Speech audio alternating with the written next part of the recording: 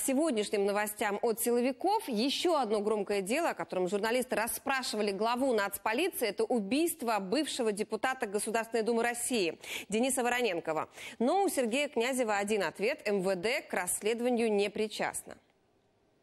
Процесуальне керівництво, а також розслідування за Генеральною прокуратурою, ми тільки виконуємо доручення, які нам надані. Але дуже великий обсяг роботи зараз виконується спільна слідча група з працівниками Служби безпеки України.